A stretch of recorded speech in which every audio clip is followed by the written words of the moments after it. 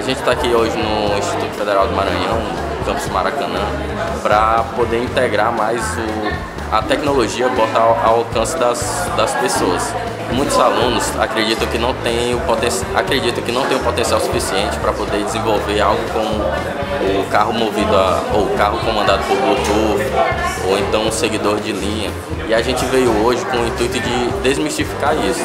Esse é um projeto apoiado pelo CNPq, pelo Estado 17 2014 em que a gente capacita crianças e adolescentes de nível médio e nível fundamental de escolas públicas lá de Teresina, estamos expandindo para o Piauí, para capacitar eles para o ensino de robótica e assuntos afins. Então, fortalecendo aí o ensino de matemática, física e matérias correlatas. Como você começa a pegar todo aquele conhecimento de sala de aula, de quadro, de fazer gráfico, tudo que você tenta passar para o aluno, ele não vê sentido além do que fazer uma mera prova, a gente, com, a, com a robótica você faz eles trabalharem em equipe, a gente usa possibilidades de competições ou coisa do tipo, que o aluno vai querer ganhar do, da outra equipe, ou vai querer fazer projeto para trabalhar em, junto com, outros, com outras pessoas.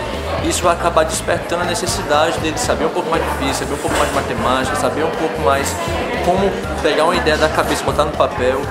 Os alunos hoje estão produzindo o básico, o que a gente chama de básico na, que a gente pode fazer com a plataforma Arduino. A metodologia que a gente utiliza é baseada no Google Science Fair, que é no caso a feira de ciências do Google, que eles dispõem um material. Esse material a gente pode, com base nele, ensinar um pouco da, da a metodologia que é utilizada por, pelo Google para ensinar robótica para as crianças e hoje aqui no Instituto Federal do Maranhão. Estou fazendo, como eu curso agronomia né, e uma área assim, de grande de grande importância para o curso, né, questão de robótica, e como já tem sistemas especializados para a questão da agricultura, é, despertou justamente por isso, né, para adquirir conhecimento e também para suprir uma necessidade que eu tenho. Eu acho que nenhum conhecimento é desperdiçado no dia de hoje. O conhecimento é uma coisa que a gente é, leva e ninguém pode roubar. Então, é, se a gente tiver um conhecimento um pouquinho nem que seja um pouco de uma coisa, um pouco de outra, já vem contribuir futuramente para nosso desempenho, tanto no, no, na área de trabalho quanto na, na vida mesmo pessoal.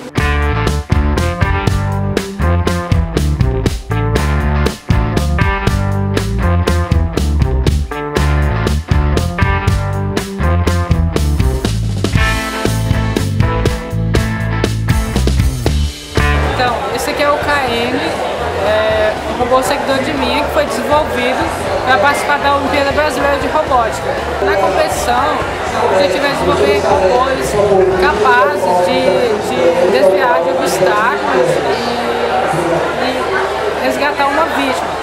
Uma vítima simbólica que é uma bolinha de isopor revestida com alumínio e tenta simbolizar uma, um ambiente de risco, como um incêndio ou um desabamento, onde colocar um bombeiro, por exemplo, seria colocar uma, uma vida a mais em risco.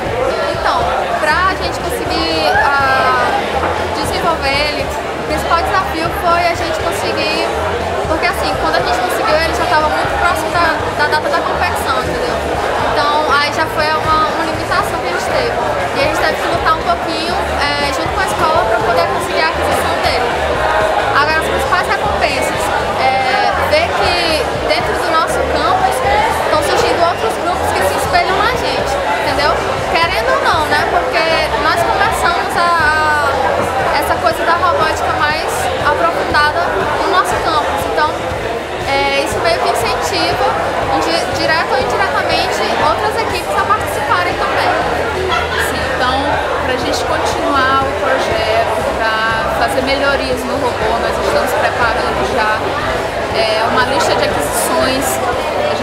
gente comprar um novo kit, né, até para criar novos grupos no campo de Açailândia para trabalhar com robótica.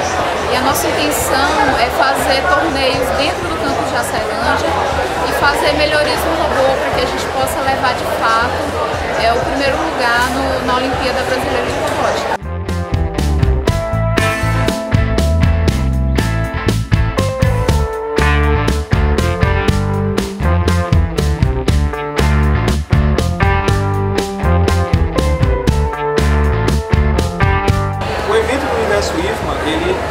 objetivos dele, além da unicidade que a robótica traz, é, tinha como objetivo fazer com que os pesquisadores que têm trabalho na área de robótica trouxessem seus trabalhos, fizessem exposição, para que ocorresse uma integração entre pesquisadores.